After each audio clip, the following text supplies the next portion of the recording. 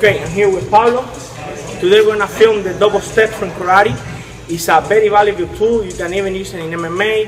It's very fast going in and out. It has some power on the back feet. Uh, Pablo, do the double step to the air.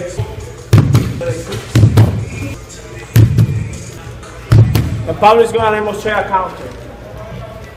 So I'm here, right?